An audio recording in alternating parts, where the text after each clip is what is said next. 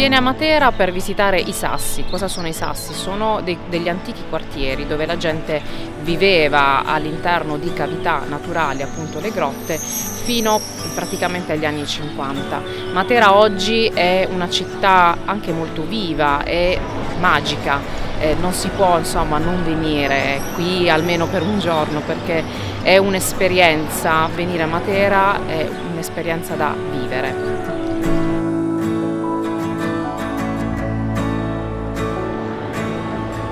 Non dimentichiamo che Matera eh, viene ritenuta una delle città più antiche del mondo e i, loro, i, i suoi abitanti da sempre hanno scavato questa roccia tufacea realizzando le loro case e proprio in quelle antiche case oggi si trovano molti bed and breakfast per esempio eh, dove noi generalmente facciamo pernottare i nostri clienti.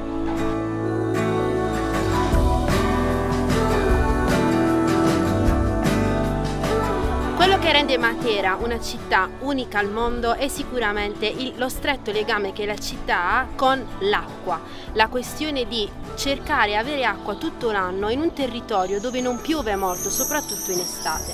Per sopperire a questo bisogno tutto quello che vediamo adesso è collegato da un fitto sistema di cisterne di raccolta dell'acqua piovana, collegati a cisterne più grandi cittadine, la più grande è quella che si trova in piazza Vittorio Veneto, e da questa cisterna poi l'acqua arrivava in ognuno dei sassi, in ognuna delle case del Rio Sassi.